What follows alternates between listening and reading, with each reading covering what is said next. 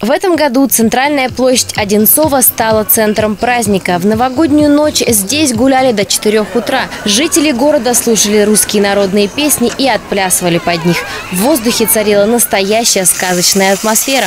Ярмарка проработала до конца праздников. На ней были представлены различные оригинальные подарки и сувениры. Каждый мог найти новогодний подарок для своих близких. Многие выбрали в качестве презента шерстяные носки, ведь в такие морозы они особенно актуальны. Супер праздник, для всех так хорошо все устроено. И для детей, и для взрослых. Очень хорошо. Всех с праздником, с Рождеством, с Новым годом! С каждым годом у нас все лучше и лучше. И освещение хорошее, каток, и для детей очень много интересного.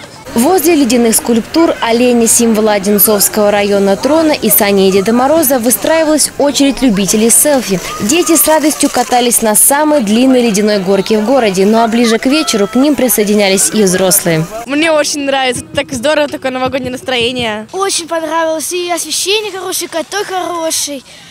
Ну, в принципе, все хорошо. Гости могли отведать на площади и разнообразные блюда и напитки, чтобы согреться и подкрепиться. Одним из центральных событий фестиваля стало открытие катка вокруг памятника Ленину с нетающим льдом, который выдерживает температуру до плюс 10. Здесь же разместились удобные теплые раздевалки, пункты заточки и проката коньков. Из динамиков доносится современная молодежная музыка. Каток проработает до начала весны.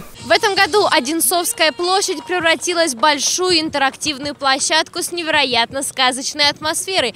Поэтому любителям активного образа жизни не нужно никуда ехать. Здесь развлечения на любой вкус. Дарья Сутягина, Леонид Бурдин, телекомпания «Одинцова».